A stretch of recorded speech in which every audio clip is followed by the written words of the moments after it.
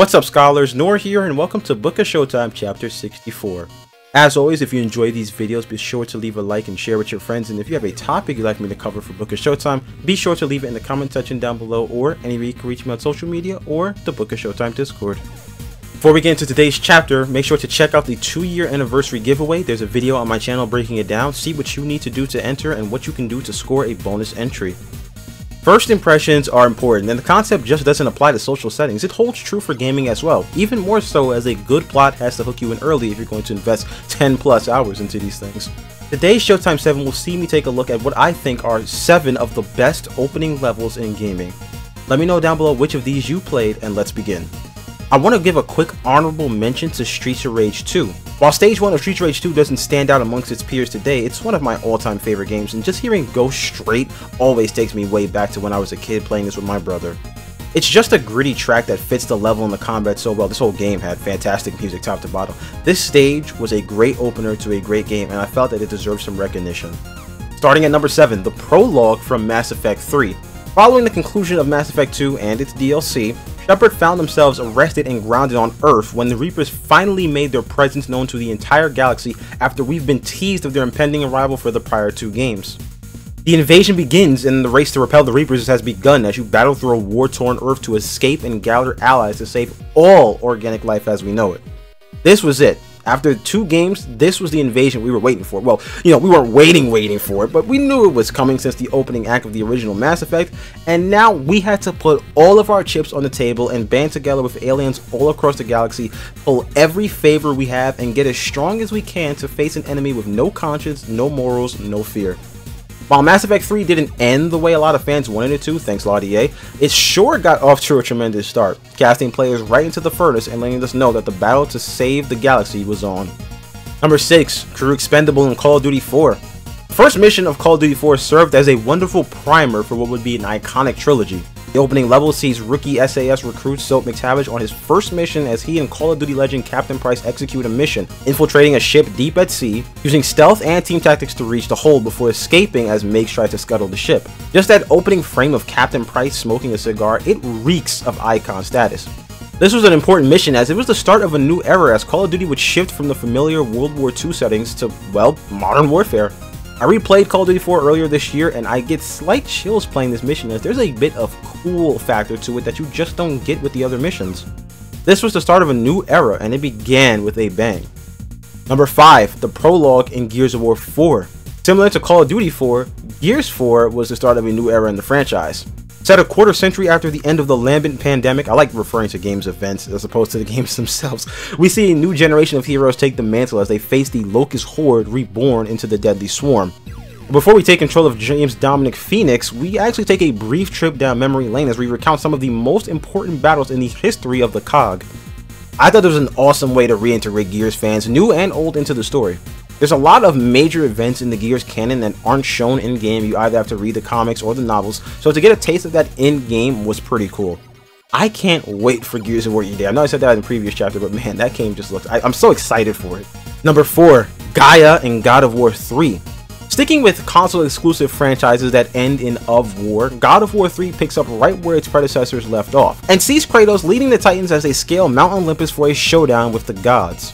The original God of War saga always had a tremendous sense of scale, so doing battle on Gaia while other gods like Hades and Hermes face off with other titans in the background just makes for a tremendous set piece before you eventually face off with Poseidon.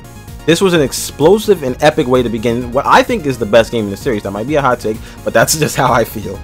Number 3, The Guest House in Resident Evil 7.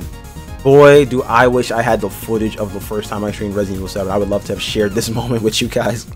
This was such a great way to kick off a new era in Resident Evil history. We've been saying that a lot today, haven't we? I guess that's the blueprint for kind of a soft reboot. Just make sure the opening level is awesome. Resident Evil 7 begins with Ethan arriving at the Baker's residence where you quickly find out this is a very twisted place.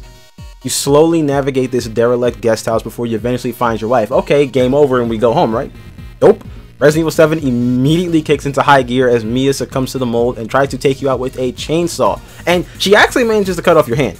Now, when this happened to me, I was legit so confused as I seriously thought I'd done something wrong and would be forced to play the rest of the game with just one hand. I mean, how many games just outright maim you within the first 20 minutes? I was so confused. Starting a game with a boss battle is always a nice way to get players invested early, and Resident Evil 7 just ticked off so many boxes on the list of things to do right in a horror game, setting us up for one of the best survival horror games of all time.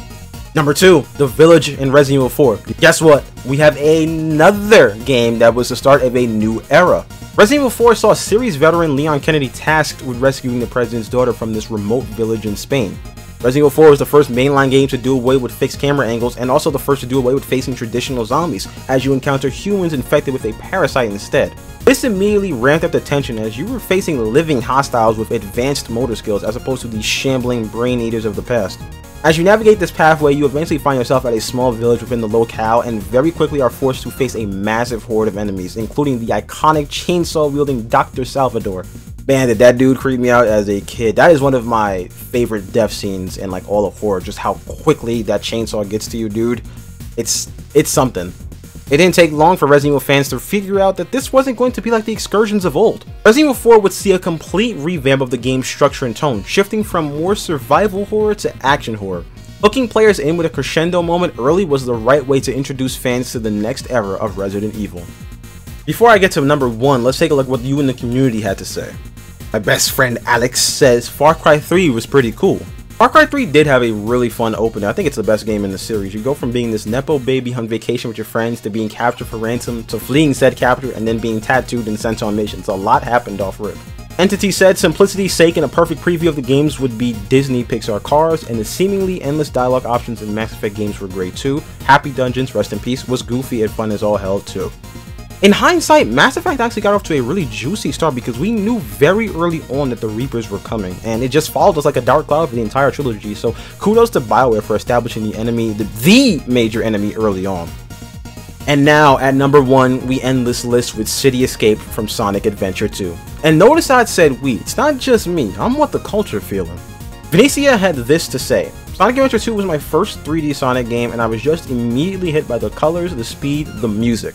Kid Me was like, this is the greatest game ever. Really, she kind of did this last entry for me. I have nothing more to add on. I agree a thousand percent. When I loaded up Sonic Adventure 2 the other day to test mods, I played the first level and boy, it took me back. Such an amazing way to kickstart the story. Well, if you did the hero side first, which I think that's how you should always start a playthrough of Sonic Adventure 2, do City Escape and then do whatever else. Sonic Adventure 2, man, this game as a kid, it rocked. As an adult, this game is kind of garbage, but I also acknowledge it's kind of raw too. So maybe it's like recyclable garbage, you know? Like it's good for the environment, but it's still trash. Can it beat the Christian Slater scale? I mean, let me lay off that man before I get sued. This would be book of litigation. Alright guys, thank you so much for watching this video. Let me know down below what your favorite opening levels are. Inshallah, I will see you in the next chapter.